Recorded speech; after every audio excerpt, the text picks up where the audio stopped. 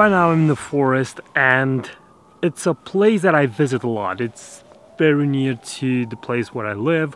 It's above my town and from the roads of my town I literally saw fog up in the forest so I start going up with the idea that I'm gonna do the morning frost on the trees in the fog but it seems that the fog stops at, at a certain point and that is why I stopped the car I got my gear out and we will try to capture probably these mountain roads. I don't know if I'm gonna have uh, an interesting path or trail in the forest to, to photograph, but uh, I will start with this idea that I'm, that I'm gonna concentrate myself on mountain roads and see what other shots may appear. So let's go. I stopped very quickly because I saw this curve going in that direction. Now, a very short and simple tip. It doesn't matter if it's winter. Don't photograph into the sun. Don't photograph in the direction from where the light comes from. The reason for not photographing into the light, it's the same no matter the situation. When you are photographing into the light, the saturation of the colors goes down, the contrast goes up, the details goes down. So it's it's not a pleasant image to look at.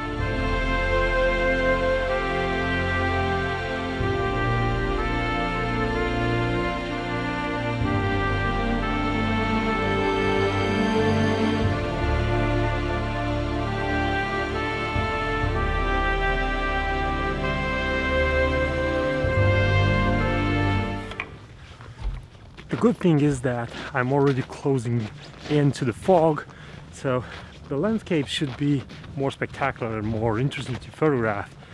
Just as I'm talking to you, I'm seeing the first shot. So.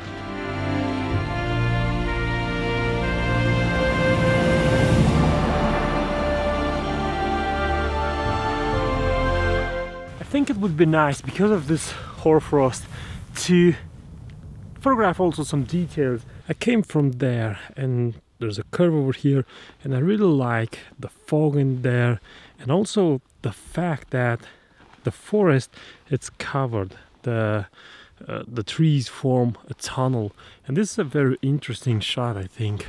It's gonna look really good. I'm trying a completely different shot. You see these uh, trees that have no leaves on them and the, all the branches are thin.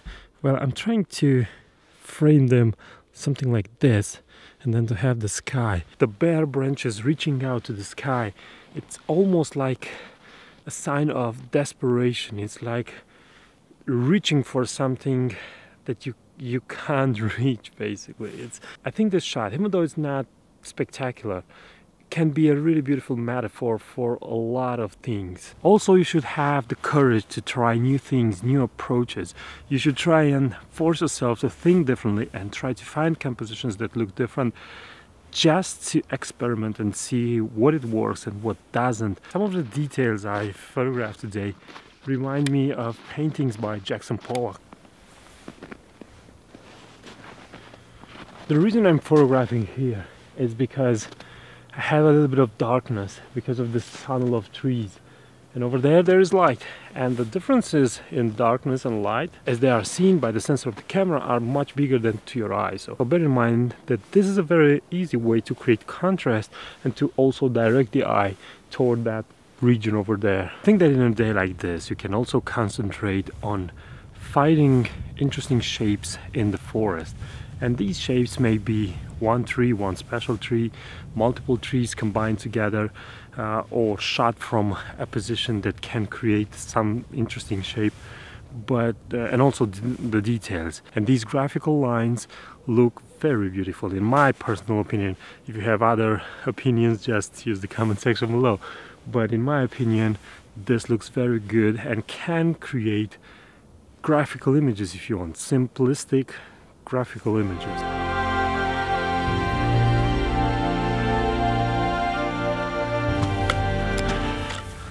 I guess this was it for today. So I photographed roads in the mountain covered by snow, the forest in hoarfrost, details of the forest, and uh, shapes of trees, of black trunk trees uh, on the white of the snow, creating some graphical images. So I hope you enjoyed this vlog, I hope you learned something from it consider subscribing to this YouTube channel and spreading the word about it. And until next time, keep on photographing is the only way to get better. Bye bye.